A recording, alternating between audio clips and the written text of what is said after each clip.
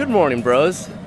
Today is the the day I've been waiting for for a very long time. We are going to be doing the final dyno pulls on Miley. So the supercharger is fully installed at this point.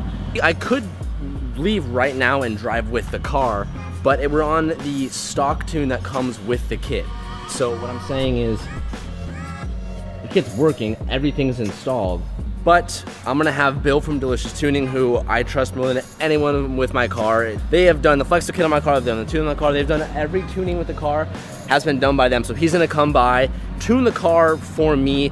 He knows how to squeeze out a lot more horsepower out than the stock tune. So we decided to keep the car here an extra day, do some custom tunes on it, dial it in to make it that much faster, and then I get to drive it for the first time. So that's what we're doing today. I, I have to show you this because it's just sitting here and I, I love it. This is the uh, this is Dieter's car. He's like the owner of HG. It's just they're sitting there having an idle for reasons that I just I don't know tuner, tuner reasons. Ah, but that's sitting there. The shop is full of amazing cars today. Um, we're gonna jump into this. Enough of me talking, and let's start doing some custom dyno pulls. And why do I keep saying custom dyno pulls? Let's let's start the let's start doing some dynos, talk some numbers. I'll explain all that type of stuff to you. Let's get it. But of course, before we start, the lunch truck is right on time.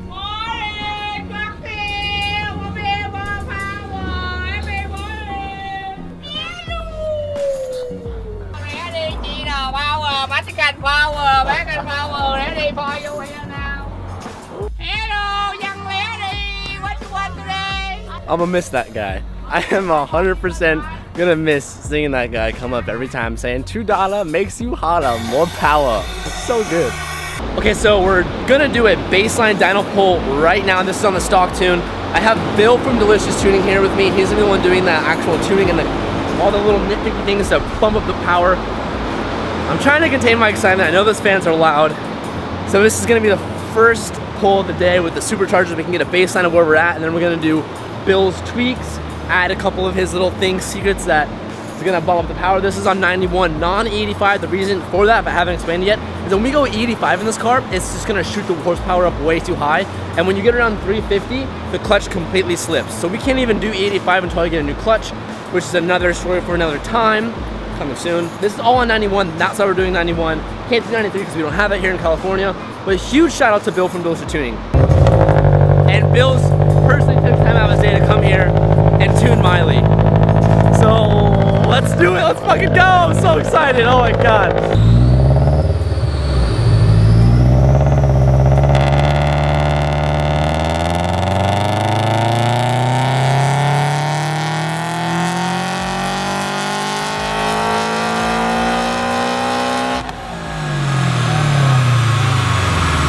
That was fucking loud.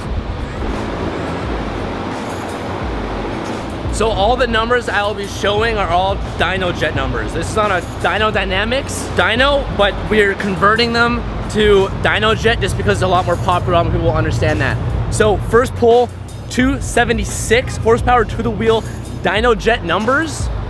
And that is the stock tune, that's without Bill touching it. That's what we're pulling now. I think we gotta raise that up a little bit.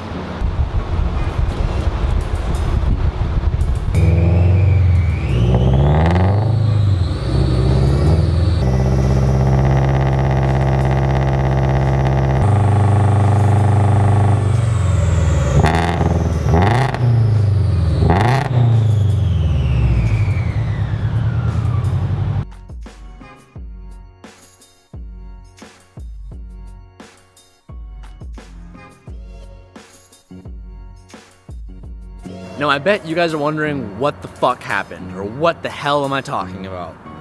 Well, the last dyno clip you saw, the cams in the motor decided to stop working. Before I go any farther, this has nothing to do with Delicious Tuning, this has nothing to do with Edelbrock's kit, this has nothing to do with HG Motorsports installing the kit. It is nobody's fault but Miley's. Hear me out.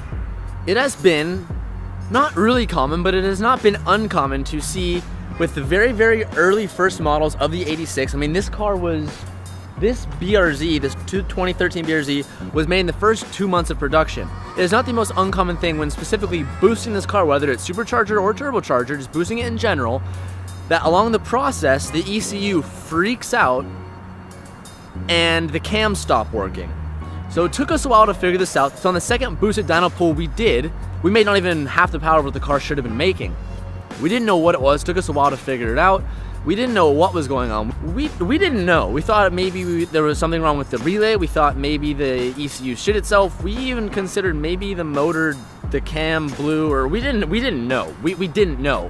But the car still ran. So what technically happened is variable valve timing stopped working because the cams weren't functioning. The motor can still run, but it, it doesn't run well and it does not run very happy. They had all of Delis's team sitting and trying to figure it out, and they contacted a bunch of different shops in the area, and that's when we came across the dreaded limp mode of the cams, which is common, kind of common, when boosting very early model BRZs, FRSs, GT86s. Once we figured that out, we, we knew we had to get the car finished for the reveal on Saturday, which you guys will see. But the motor didn't blow, nothing blew up, but it was very scary. You'll see in the next video, we do get around the issue, but Miley scared the fucking shit out of me. And I thought, I thought we were in deep water. But I want to tell you guys this because when boosting cars that aren't boosted or when doing major modifications, hiccups happen. It's very rare that everything happens perfectly smooth. So that being said, I wanted to be transparent with you guys so you guys can be, like I said, I want to take you along with this process. So when we were doing this, the ECU pretty much freaked out when all the power came on the car and it kind of like throws itself into limp mode. As to why we why it does that, it's a very no one knows. It, it's it's it's an uncommon thing, but typically when this happens, guys like to upgrade the cams um, just for just just for future reliability. So is that something I'm going to be looking into? Yes. Is the motor perfectly fine? Yes. Is there anything I need to technically worry about? No. Is the car working? Well, you guys will see that in future videos, although it is behind me. I don't want to spoil too much. I just want to let you guys know. On our second dyno pull, the cams went into limp mode, and we stopped tuning for about a day and a half, and we're just trying to figure the car out. As to what happens next, you guys will wait and find out. Very nerve-wracking.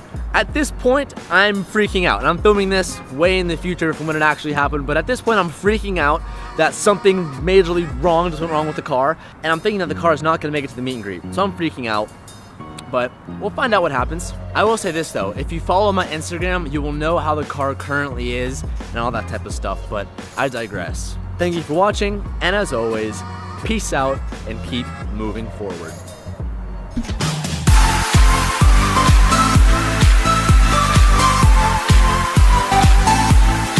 Motivation is contagious. Hang out with those who inspire you and strive not to be like them, but only a better version of yourself. You will learn that there is a difference between alone and lonely. Life isn't always easy, but that's the beauty. You will learn how to be truly happy, and as much as you don't